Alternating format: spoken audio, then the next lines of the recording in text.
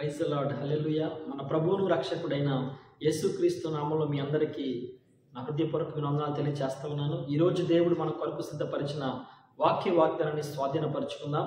పరిశుద్ధ బైబిల్ గ్రంథంలో నుంచి ద్వితీయోపదేశ కాండము ఇరవై ఎనిమిదవ అధ్యాయము పద్నాలుగో వచనంలో ఆఖరి మాట మనం చదువుకుందాం. ద్వితీయోపదేశ కాండము ఇరవై ఎనిమిదో అధ్యాయము పద్నాలుగో వచనము ఆఖరి మాట చదువుకుందాం. నీవు పైవాడుగా ఉండు కానీ క్రిందవాడవుగా ఉండవు. హల్లెలూయా. దేవుడు ఈరోజు మనకు ఒక చక్కటి వాక్య వాగ్దానాన్ని ఆయన మనకు అనుగ్రహిస్తూ ఉన్నారు. నీవు పైవాడువుగా ఉందువు కానీ క్రిందవాడవుగా ఉండవు.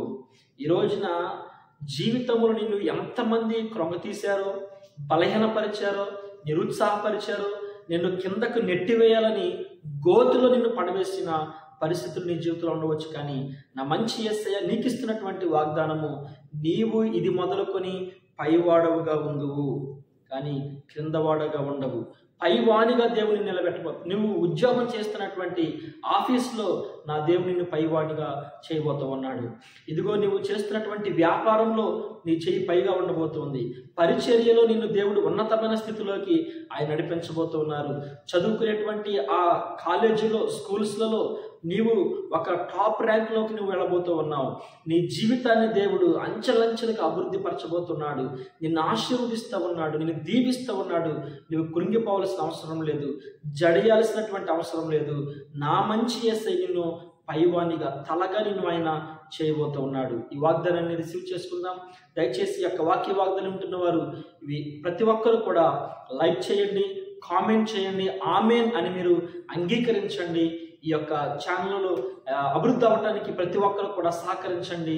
దేవుని దీవెనలు పొందుకోనండి. ఈరోజు ఈ యొక్క వాగ్దానం కొరకు మనందరం కూడా ప్రార్థన చేసుకుందాం.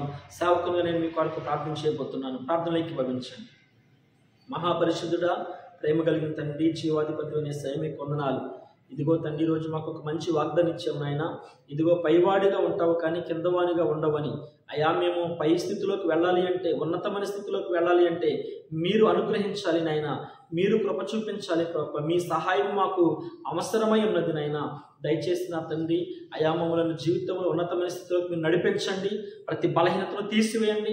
ప్రతి అనారోగ్యం నుంచి మీరు విడిపించండి నాయన. అన్ని విషయాల్లో కూడా ప్రభ ఒక ఉన్నతమైన స్థితికి వెళ్ళి నాయన ప్రభ ఆ ప్రదేశంలో ఆ స్థలంలో ఉన్నతమైన స్థితిలో ఉండి ఏసయ గొప్ప దేవుడిని అనేకులకు మేము ప్రకటించుటకు నాయన మీ నామమును గణపరుచుటకు సహాయం చేసి కృపలో వర్ధిలింప చేయమని నజరేయుడని యేసుక్రీస్తు నామంలో ప్రార్థిస్తున్నాము తండ్రి. ఆమె